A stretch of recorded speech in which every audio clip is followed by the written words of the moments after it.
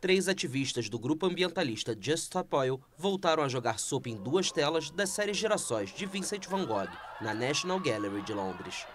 Uma das duas obras, pintada pelo artista holandês em 1888, já tinha sido alvo de um ataque com sopa em uma ação pela qual as suas autoras foram condenadas à pena de prisão nesta sexta-feira.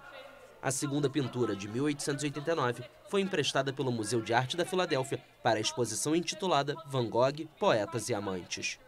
Concluído o ataque, os três ativistas mostraram camisas com o nome do grupo, Just Stop Oil, e fizeram um discurso contra o uso de combustíveis fósseis. As obras estavam protegidas por vidro e foram imediatamente examinadas por especialistas do museu, que informaram que elas não estão danificadas.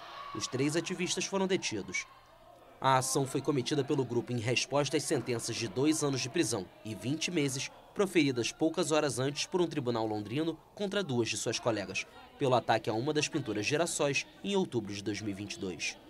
A Just Stop Oil pede o fim dos combustíveis fósseis no Reino Unido até 2030 a ONG Greenpeace denunciou uma pena desproporcional para uma manifestação que causou pequenos danos à moldura da obra e não à pintura.